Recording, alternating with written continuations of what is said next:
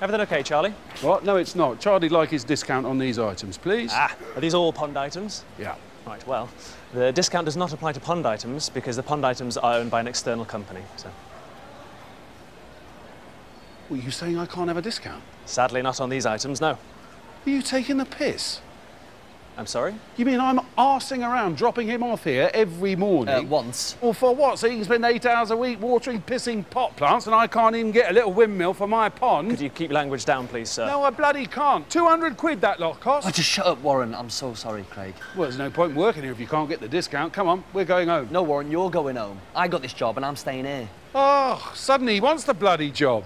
I think it's time you left, sir. Give me the discount and I will. Oh, just leave, Warren, please. I told you already, you can't get one.